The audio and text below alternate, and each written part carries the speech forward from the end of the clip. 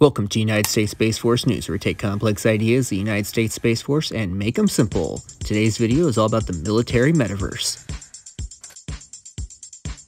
Bet you didn't even know the Space Force or any other military branch was even looking into the metaverse.